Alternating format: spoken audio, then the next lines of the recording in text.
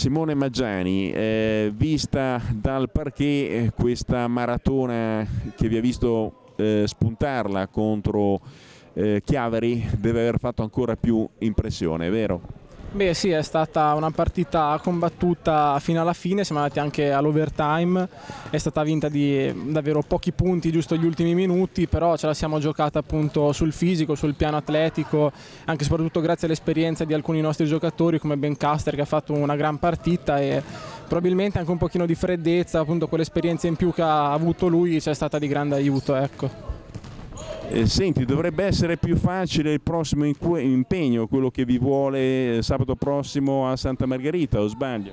Beh sì, in teoria sulla carta un, è eh, una partita più abbordabile per noi, visto anche la posizione in classifica dell'altra squadra, però appunto non, non dobbiamo distrarci neanche con le, più,